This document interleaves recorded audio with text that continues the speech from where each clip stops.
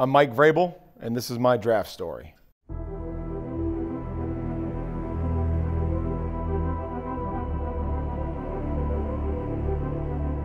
You know, draft day was long. It was a little different uh, 20 some years ago.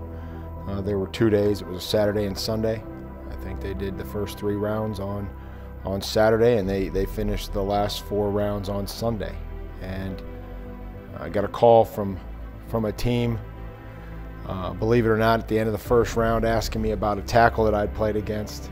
Uh, I'd played against two tackles, and they had asked my opinion. But sat around uh, till till the end of uh, Saturday night, and there was a few picks left in the third round, and Bill Cowher called and uh, was excited uh, to be able to join that organization, being close to to where I grew up, tradition that was there, and and needed to you know try to do everything I could to make that football team. You know, it's just one small piece of the puzzle. It would be probably the the smallest um, experience that I had after 14 years in the NFL.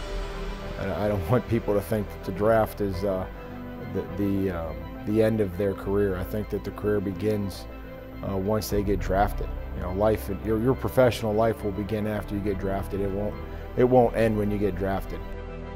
For any young player, I think that it's critical that they come in one, they, they learn and they study. You never want to get your opportunity on the field and be next to a veteran player uh, and not know what to do.